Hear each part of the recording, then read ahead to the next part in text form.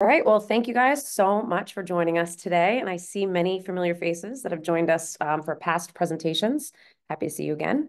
And I do see some new faces. So you're joining us for the first time. Uh, welcome. So as most of you know, and for those of you who don't, RDW and iFactory, we're committed um, to the way that we think about and respond to surround to issues surrounding diversity, equity, and inclusion. And as you guys know, accessibility is a critical part of that. So what does that mean? So that means means if people are low vision, blind, or deaf and blind, they have equal access to online information and services, which is obviously very important for us in our industry, as most of what we do is online. So our speaker today has worked with the Perkins School for the Blind, Helen Keller Services, Hadley, and the Braille Institute.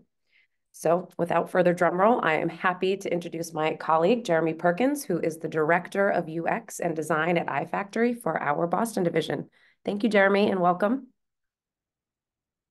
Thanks, Martha. Happy to be here. Um, really excited to talk about this topic. I spent a lot of time thinking about how uh, websites and interfaces can serve everybody. So I'm going to go ahead and share my screen and make sure that you can see that. Okay. Beautiful. Thank you. Okay. I just want to double check if I go into this mode, can you still see it? All right. Yes. Excellent. Great. Okay, so um, today we're going to chat about web accessibility, and there are three parts to this. Uh, it's it's really an overview for those who know very little about the topic or are familiar with it. This I, there'll be something for everyone in this. We're going to talk a little bit about what what web accessibility is and why it matters.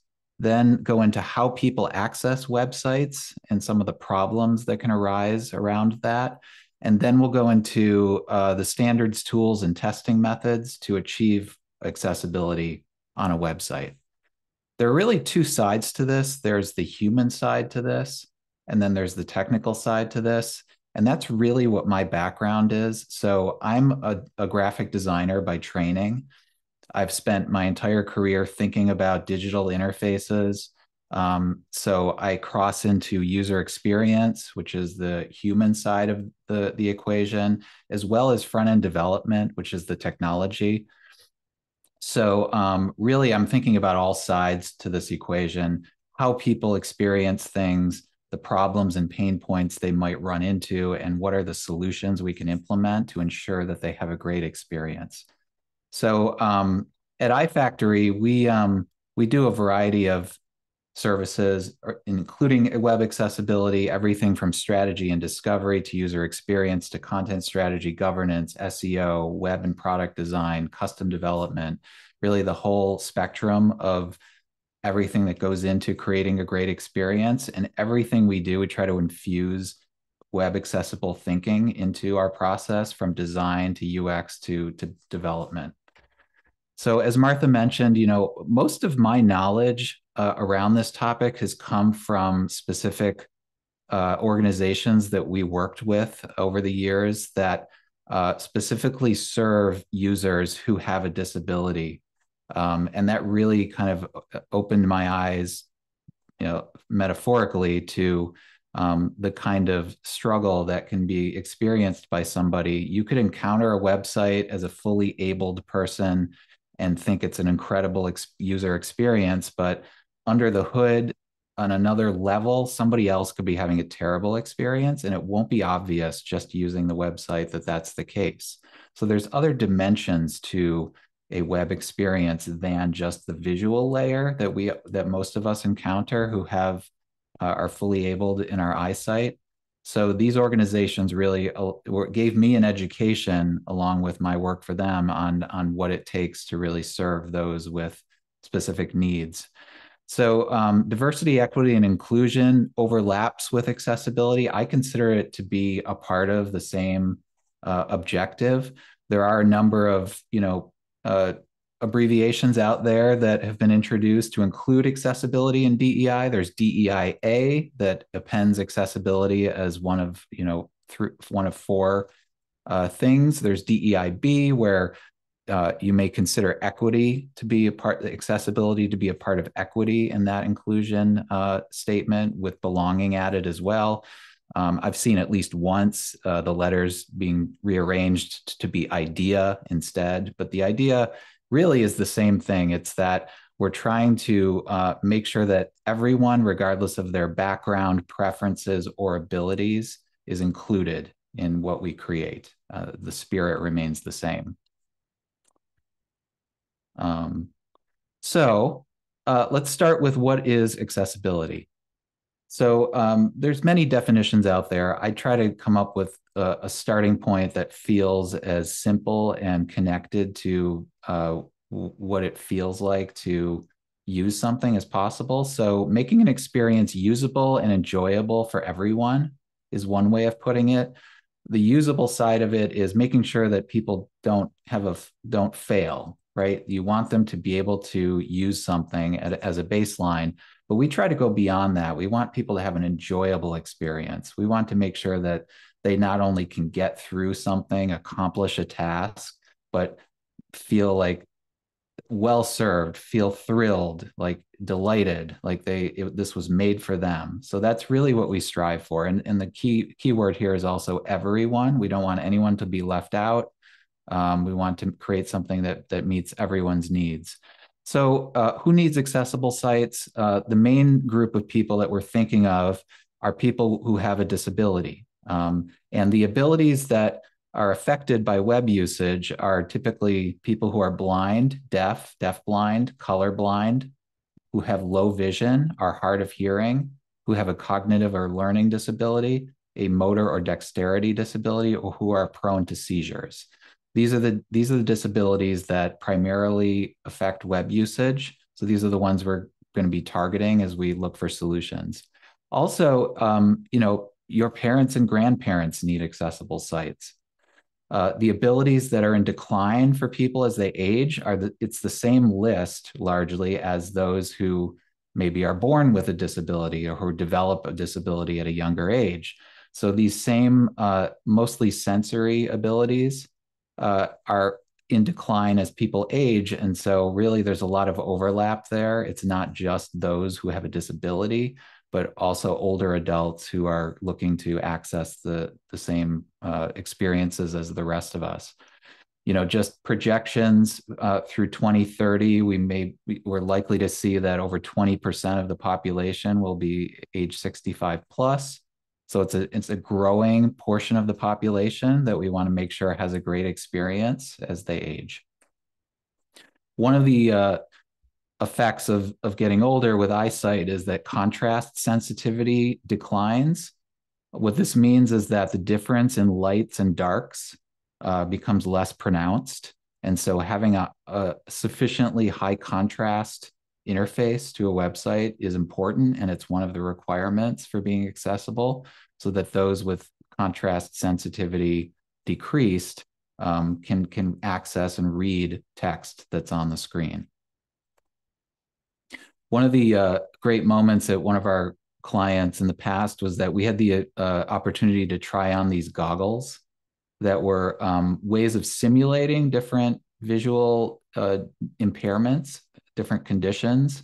So some of these may have like one lens has like a little tiny hole that you can see through and not the entire field of vision. Others are obscured or or or fogged in some way so that it's the it's blurry or unclear or there's a there's a color filter applied to one of the lenses to simulate color you know various color blindness so th- these are really really interesting way to step in the, inside the shoes of somebody who has a different ability with sight than than than I would and to experience that um, that difference so um, another group that needs accessible sites is all of us at, at certain times.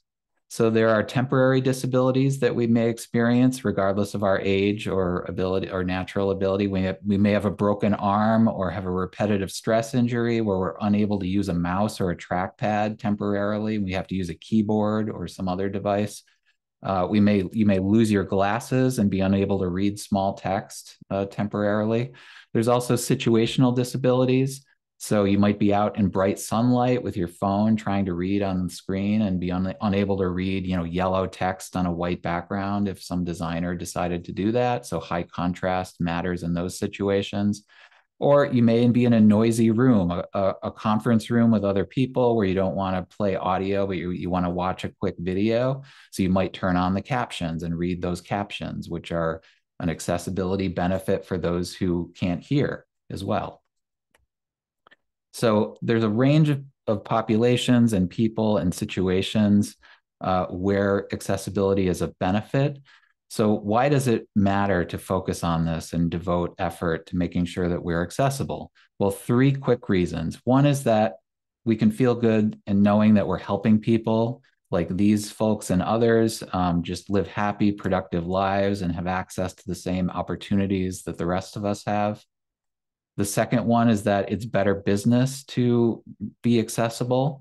So, um, just looking at census data, you know, roughly almost 20% of the population, uh, give or take a few percent, uh, has some kind of disability. And if you just take break out the disabilities that relate to using uh, websites on screen interfaces, you know, vision, hearing, fine motor skills, and learning, you're, you're looking at perhaps potentially almost 10% of the population who you could be leaving behind in your your business or your organization's mission and so that's it's a side it's more people than you would think who have um, may have a need for an accessible website.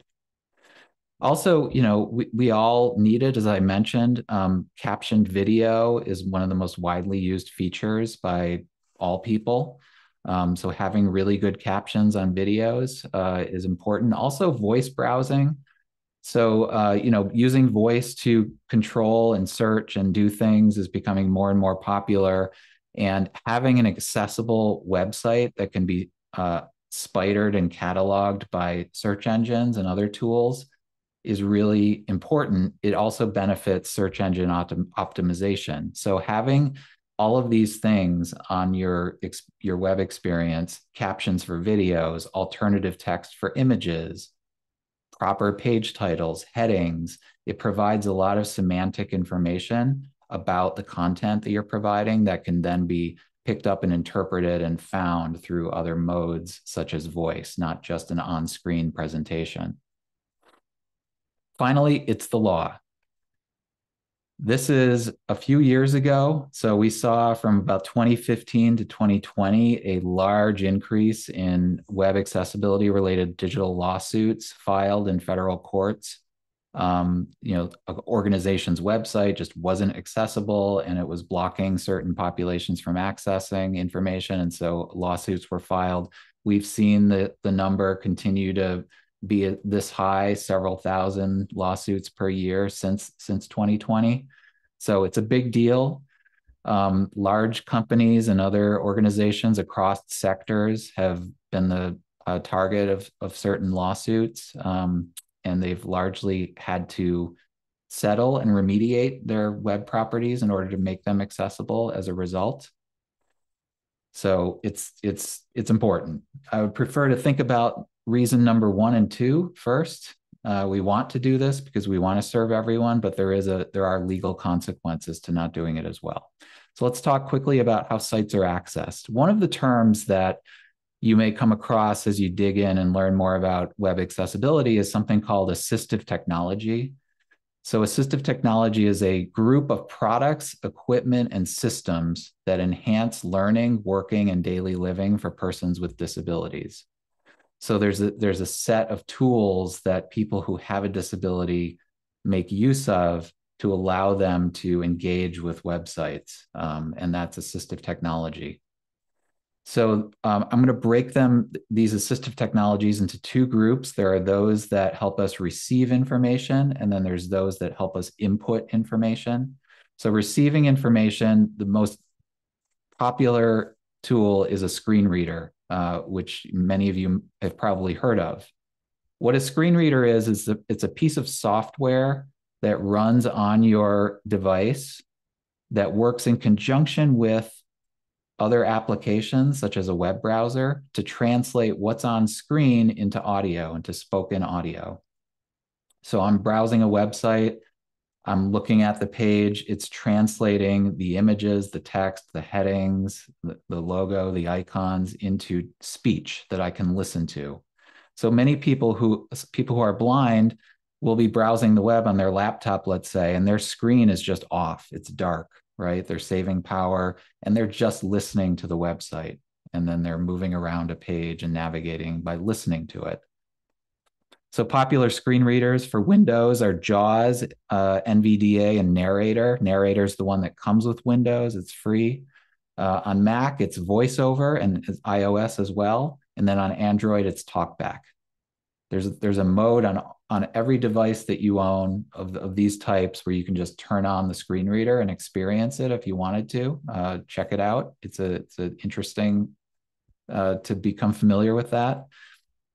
So another way of um, reading information from a screen is a refreshable braille display. So this is an accessory that users can attach to their laptop um, in conjunction with their keyboard and be able to run their fingers along a row of braille uh, dots that raise and lower. So it's a it's a changeable line of of braille text that somebody can read by touching it and they can experience um, the text that the screen reader is outputting by by do, by reading the braille. So the users who are deafblind, who um, can't see or hear, they would instead of listening to the audio of the screen reader, could use a braille display and and use their sensory uh, touch sense to uh, experience the the information. Another tool is a screen magnifier. This is for people who have low vision, so they can see, but not well. What it does is it it zooms the page way up to, you know, a thousand percent or more so that, you know, only a few words or even a few letters are showing at once. So that, you know, those who need need text very enlarged beyond what the browser can do can uh, zoom way in, and then what they do is they they pan around the page and for in all directions to experience what else is there. So they'll go to the right, they'll go down, and what we found is when we design pages, the the different axes in the layout, right? Like the left hand uh, axis of the page is a critical path that somebody explores with a with a screen magnifier, going down the left side of the page to discover what sections are there.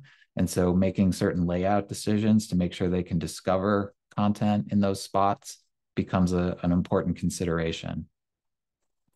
So for entering information, um, this is a little bit more familiar. Uh, hands are one way of entering information. We all have them, not everybody, but most of us. And those who are blind or low vision typically would use their hands.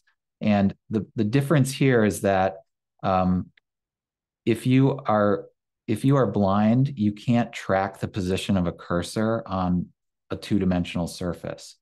So a keyboard or a touch screen is becomes the preferred way of interacting. So watching a, a mouse cursor move around on screen becomes uh, impossible for you. So uh, most screen reader users, what you'll see is that they are using a keyboard to move focus from element to element on a page, top to bottom.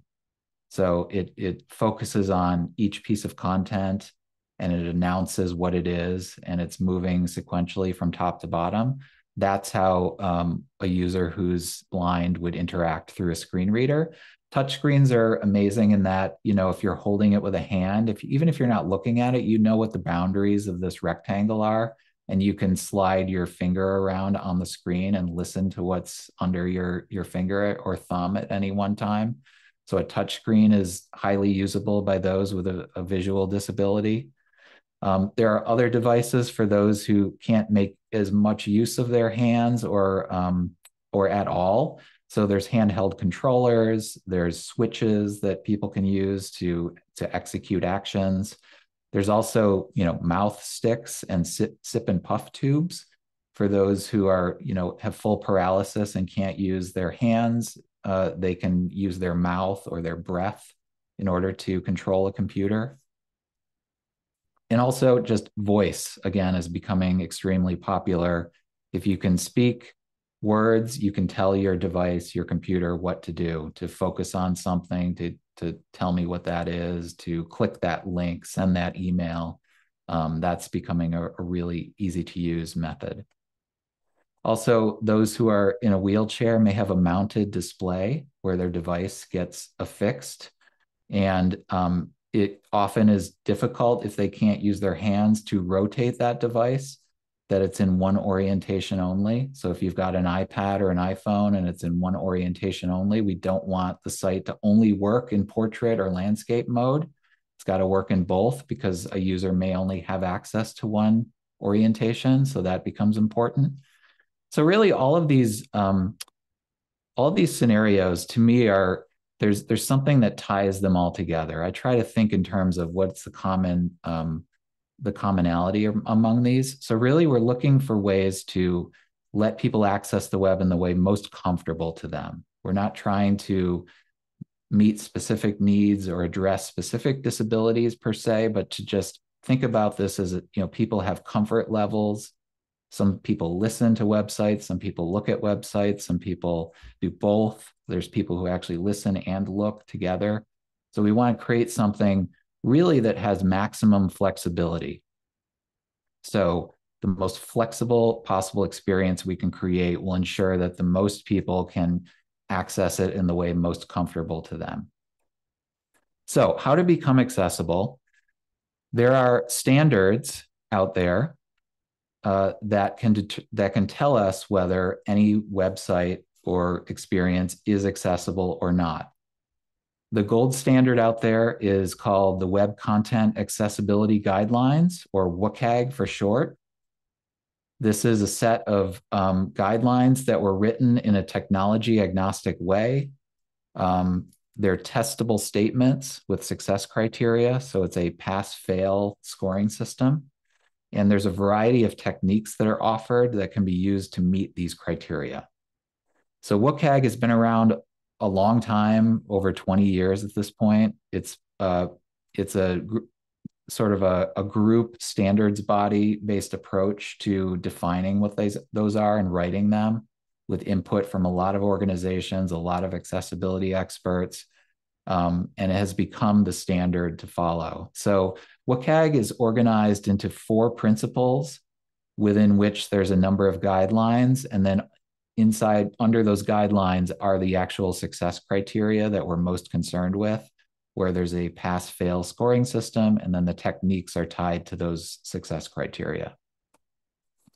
The four principles are perceivable, which is that content, first of all, can be detected. If you can't detect that there's content there, you can't do anything with it.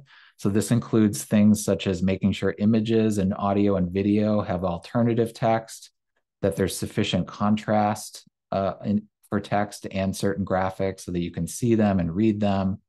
Um, operable is content can be manipulated, so making sure that everything works with a keyboard as well as a pointer-based device input mode, um, as well as being able to control any motion that's on a screen to stop any movement, for example. Understandable is making sure content can be understood. So making sure that the language of the document is declared, making sure that forms behave in predictable ways, that if there's an error message, that it can be detected and understood and a user can recover from that error and robust is making sure that um, everything we create adheres to standards so that a variety of assistive technology can access it in a predictable way. So there are three conformance levels to WCAG, A, AA, and AAA. The AAA criteria are the most blue sky, like ideal situation, not always feasible to achieve those depending on the situation. On the other hand, A are must haves. Everything has to do this in order to be have a baseline level of accessibility. So double A is considered to be the universal standard that all websites and apps need to adhere to in order to be deemed accessible. So double A is what is what to remember. Uh, one of the success criteria, um, just to give you a sense for what, how they're written and, and how they work, this is the very first one in WCAG. It's 1.1.1, non-text content. So you can see how it's written. All non-text content that is presented to the user has a text alternative that serves the equivalent purpose, except for the situations listed below. And there's a few, a few exceptions. So this is written in a technology agnostic way. It doesn't say anything about HTML or do's and don'ts, you know, within your code or in a design. It just says that anything that's not text, that's content, and is shown to the user has to have a text alternative and it has to be an equivalent purpose. Okay, so what this translates to is this is the uh, common understanding that images need alt text, right? So most people have heard of accessibility. That's the first thing they think of. Images need alt text. That's what this success criterion is for specifically. And one of the techniques that if you go down that page and read about all the ways you can meet this one, using alt attributes on image elements in HTML is one way to do that. There's, there's numerous other ways to meet it as well. So that's how WCAG success criteria work. So WCAG's been in development for, as I mentioned, over 20 years. The version 2.0, the major last major release, was published in 2008. In 2018, 2.1 was released, and just this past October, 2.2 was released. These all build on one another. So each minor version adds a few new success criteria that need to be met. And it's really a response to technology trends such as mobile and uh, other, other things that have developed in the last 12 to 15 years. So they're cumulative, and we're on version 2.2 now, and that is the one to be looking at. So, what laws and policies are out there that require us to be accessible, and how do those relate to WCAG? So, the most important one is United in the United States is ADA Title III. It's part of the Americans with Disabilities Act that was passed in 1990. It's a federal law that prohibits discrimination on the basis of disability in the activities of places of public accommodations. So, what that means is if your business or organization is open to the public, open to everyone, you can't discriminate uh, against someone because they have a disability. And it was passed in 1990. That was before the web became a thing. Since then, websites have become understood as being places of public accommodations. So if you have a retail business, you need to make sure that it's wheelchair accessible. If you have a website for your retail business, it needs to be accessible to people with disabilities as well. And it's the basis for legal action in web accessibility cases, ADA Title III. Section 508 you may have heard of, that's, that's used a lot. Section 508 is a part of the Rehabilitation Act. Actually, it was passed in 1973, so even earlier. What this did was it was a federal law mandating that all electronic and inf- information technology developed, procured, maintained, or used by the federal government must be accessible to people with disabilities. So it was for the federal government only. And that was that was expanded from just the internal workings of the federal government to any business or organization that works for the federal government, so contractors, We've had clients who have done software products that are procured by the federal government, and they've been very Section 508 obsessed about getting that right because it was a requirement.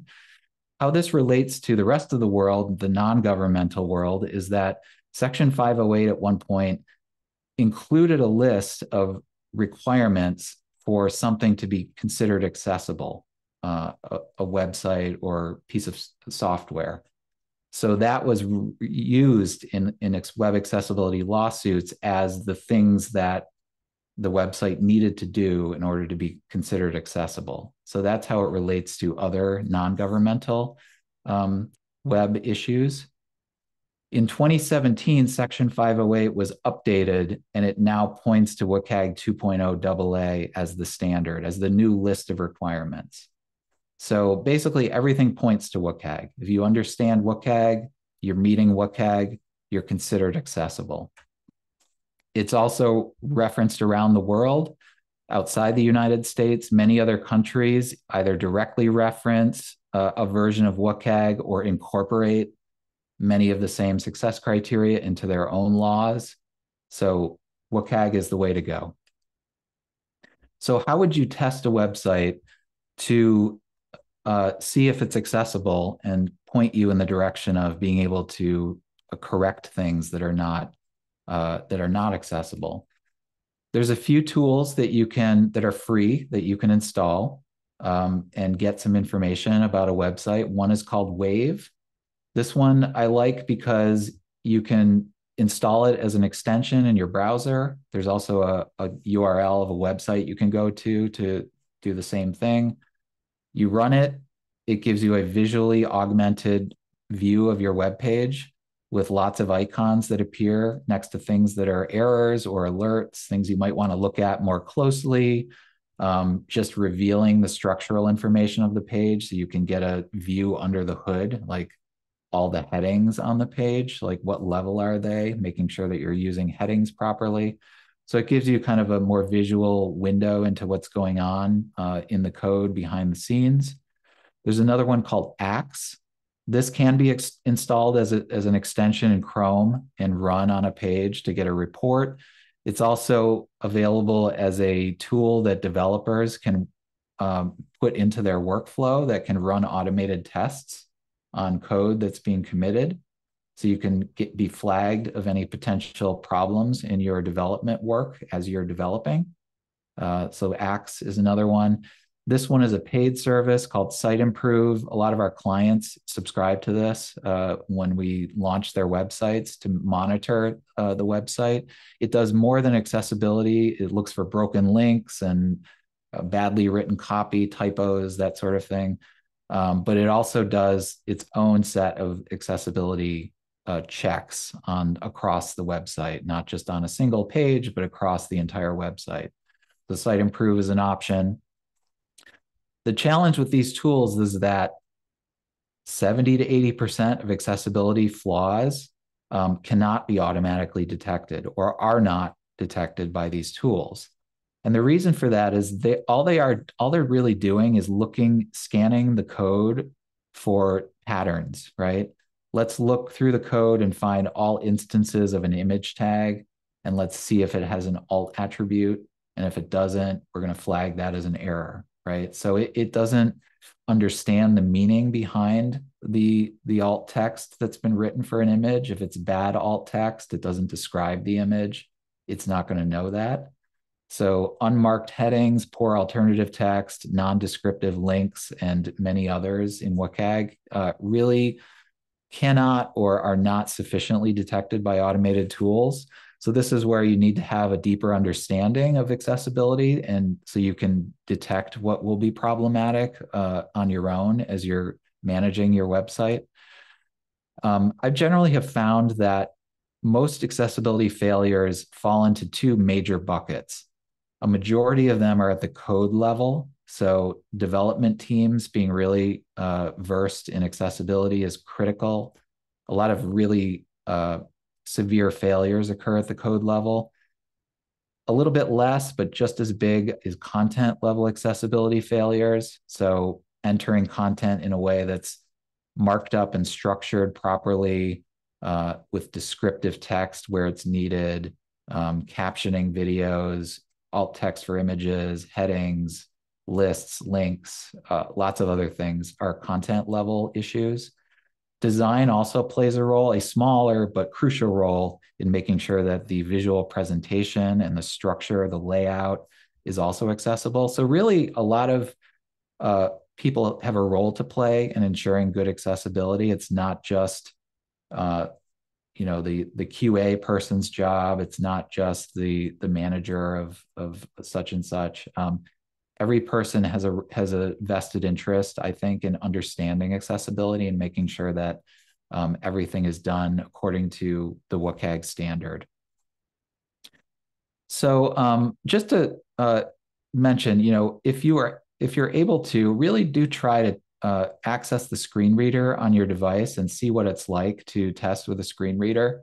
It's every device has one. Turn it on get to know uh, listen to what it's saying that's another way of testing your website. You can just turn on a screen reader and move from element to element down the page and see if it's describing things in a way that makes sense. So there's a lot more to say about that. I don't have time to get into it, but um, a screen reader is for people who test for accessibility, such as me, it's our primary tool for revealing failures. So running a quick scan, looking at a report, that's like step one. Going through every page top to bottom, using a keyboard, opening and closing things, like listening to what each element is. Like you're revealing lots of information about the the accessible name of the element, the role that it's playing on the page, what state it's in, is it open, closed, selected, unselected. There's lots of things that need to be present at the code level, at the content level, at the design level that will be evident when using a screen reader. So, so yeah, check it out. Um, if you ever have a chance to uh, watch a person who has a, a visual disability or another uh, such disability, it's really revealing to see how people who are accustomed to to not having a certain ability will adapt and actually be able to more efficiently use interfaces than maybe somebody like me who has uh, who's fully sighted. So um, this particular person who we we uh, got to witness trying to use an interface was so fast at jumping around a page using search a lot right to to find things on a page and and quickly click things and move that it was like almost hard to keep up with what was what was happening. He had a screen reader um, speaking rate turned way up. So it was like a hyper speed kind of like uh, speaking rate, doing search on the page, you know, pulling up a list of all the headings, jumping to the heading he wanted to go to, clicking a link by pressing enter, he's on to a new page. You know, people who are accustomed to using assistive technology and who have a disability actually are almost like power users. So it's really interesting. So um, just to kind of bring this all back to the the human side of this, I wanted to leave you with a just a quick quote, a moment. So Hadley was a project we worked on, and what Hadley is, it's a it's a place for older adults who are losing their vision to learn, connect, and thrive. So it's an online learning platform we created with Hadley that, um, among other things, gave users a chance to experience workshops, which are like short videos that are tips and tricks on how to do life if you're losing your vision. So what we found was that older adults who are, you know, many of whom are, you know, had full sight capabilities their entire life and who are now finding life very difficult because their vision is deteriorating. They may have just gotten a diagnosis from their doctor. They don't think of themselves as being disabled. They don't think of themselves as having a need for accessibility. They might not even know what that term means. So, you know, we tend to think of accessibility, disabilities as being a certain kind of category of people who have a disability and know that and have special needs. You know, adults who are going up in years and losing their sight often are very fearful and lack confidence and don't realize that there's many others out there who are like them. And so we created a space for them to discover content, learn about how to do life more easily with their with their condition connect with others and feel a sense of joy that that doors aren't closing to them necessarily in life they can still thrive and um, we launched this site and it's, they've had a huge increase in signups uh, by people who are discovering hadley and they've been getting these letters from users just overjoyed at what they've discovered with hadley and this is just one of the quotes that that somebody just sent to hadley you know I could not believe it. Every topic I was concerned about was right there before my ears. So somebody who has didn't realize that they could still do all the things they loved doing. Hadley showed them that yes, these things are still possible. You need to adapt and use different strategies, different techniques, but it's all there. And the person could just use their ears to listen to the content and they got what they needed and they felt they felt like they were seen as a person. So that really is the ultimate goal for all of this is to make sure that people make sure they have an experience that says you get me you understand me this is this was made for me um, and really that that's that's the ultimate goal for for me so that's what i have and um, would love if anyone has questions happy to speak to those Jeremy, that was awesome. Thank you so much for sharing. That was, I've heard bits and pieces of this um, presentation before, but it's a great refresher. And I was taking screen grabs of the um, the different programs we can use. Yeah. Um, does anybody have any questions or any um, personal insights or experience with this?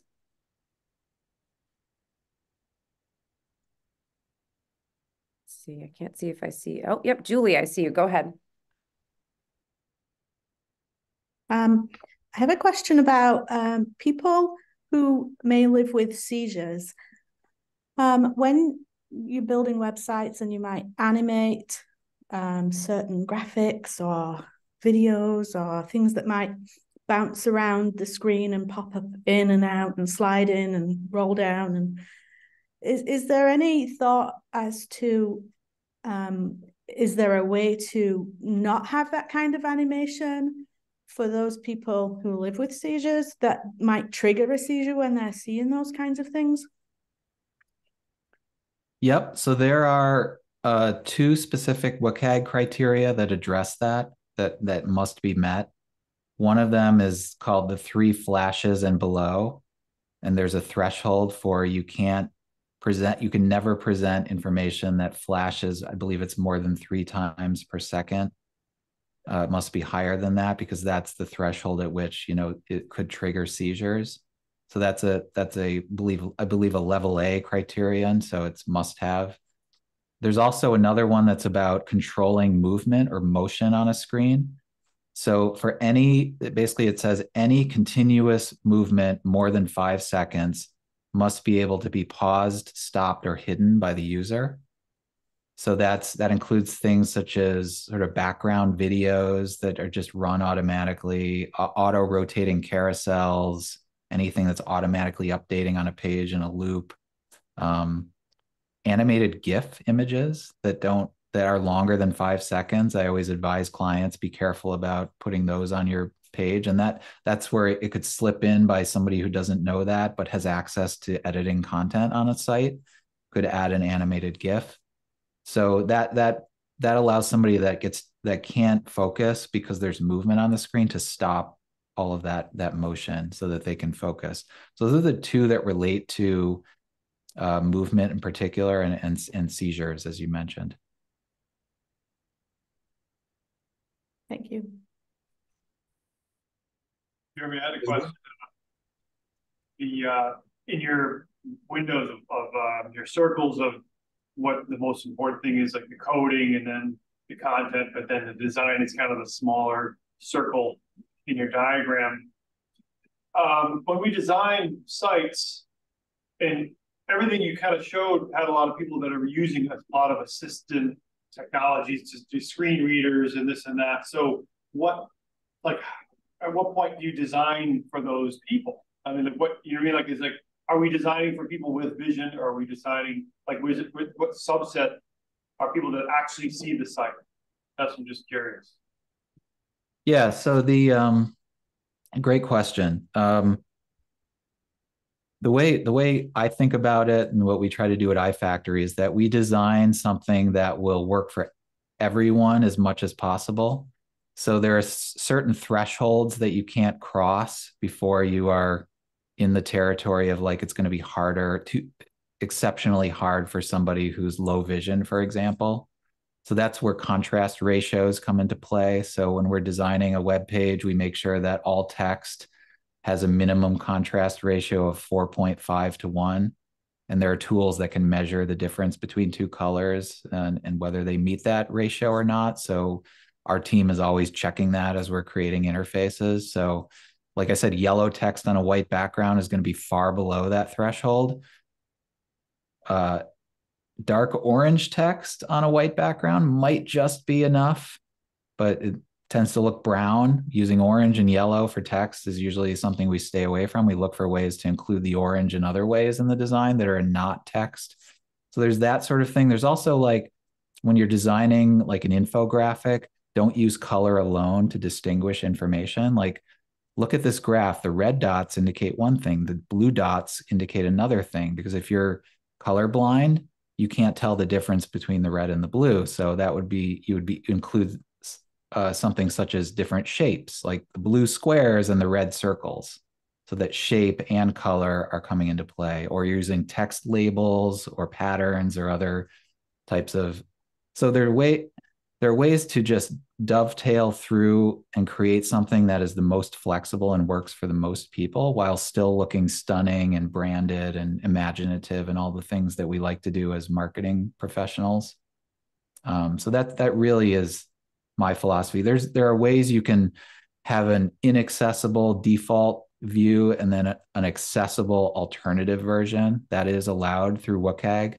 It's called a conforming alternative alternative version where you know click this link to go to the, the, the version that is accessible but it, it doubles the work involved to create two versions and users might not discover that link to the accessible version so you're already starting to potentially introduce barriers it's better to just create one solution that stays within certain thresholds to be accessible Great, thank you.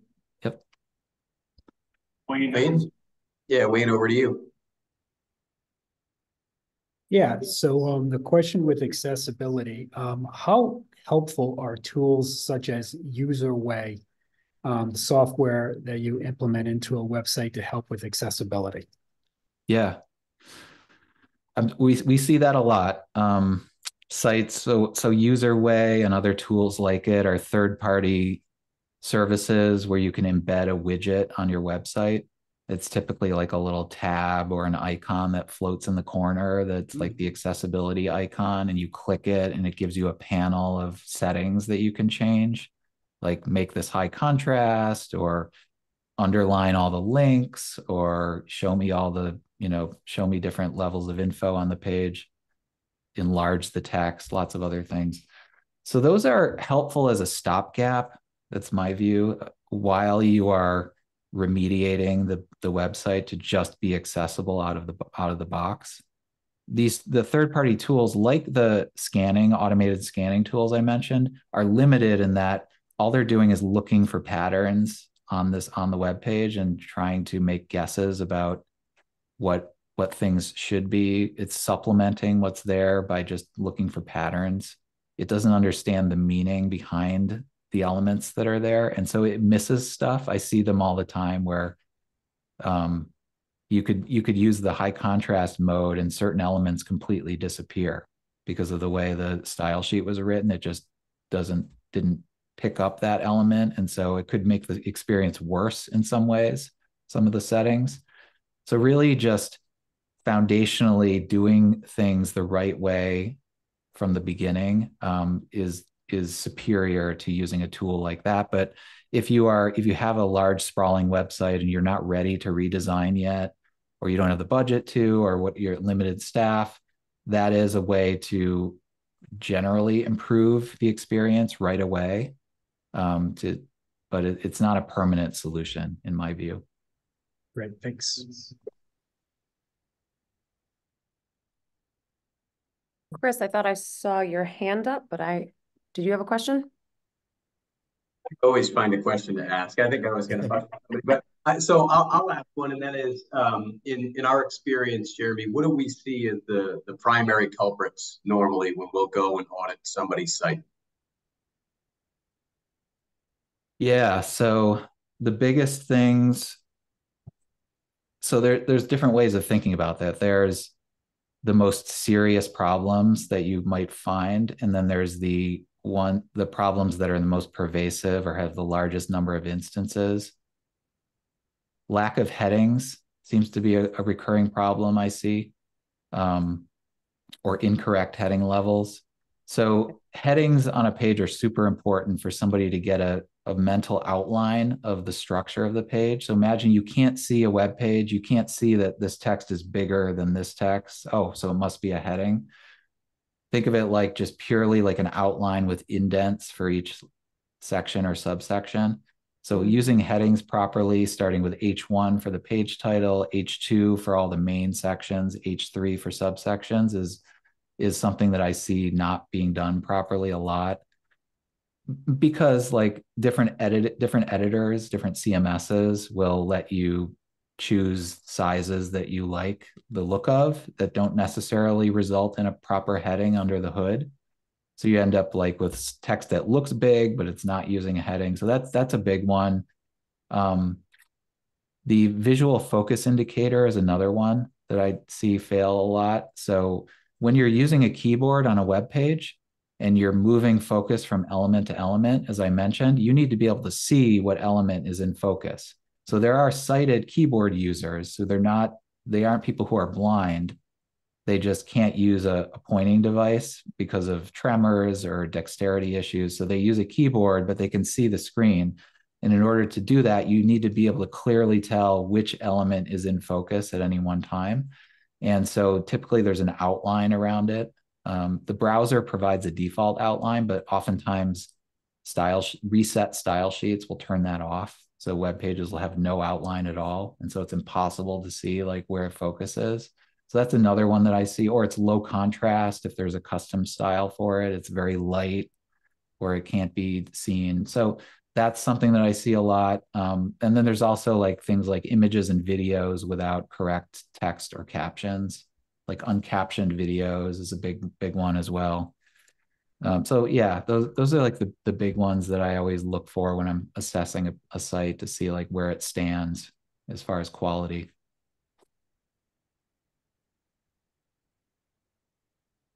We do have a few minutes left. Does anyone have any other questions? You can either use your hand, like your physical hand, or you can do the hand on uh, Zoom here. I have a quick question. Yeah. Um, in terms of the legality of all of this, is there like a threshold at which um, somebody's website would be subject to the the legal accessibility issues? Like, is Joe's Pizza Shop.com gonna ha- gonna be having to do the same thing as like a, a university? Great question. Yeah. So technically, under the law, they're both entities are equally need held to the same standard. Um, they must be accessible if they're accommodating the public. There are, I'm not a legal expert, so I can't go into the, the nuances of it. If the website is not, is a minor part of your operation, maybe it could, could be, could be considered not a, a significant part of your service. Maybe that would be taken into account. We do, so a lot of our clients are publicly funded colleges and universities. They are held to a very stringent standard. It's still WCAG as the list of things that you need to do, but there's a lot riding on being remaining accessible um, and keeping keeping track of not falling out of compliance um, because they're they're federal they're federally and state funded um, taxpayer money. There's there's additional scrutiny.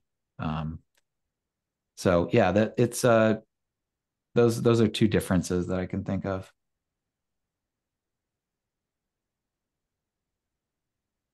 Fantastic. Jeremy, this was super informative. Um, as those of you who were on right at the beginning, you know that we have recorded this, so we will be able to distribute this if um, anyone is interested. And I just wanted to thank all of you, especially you, Jeremy, for taking the time to help educate us on this. And I appreciate all of you taking some time out of your lunch hour to be with us. Thanks everyone for coming. Great job, Jeremy. Great job, Jeremy. All right. Thanks all. All right.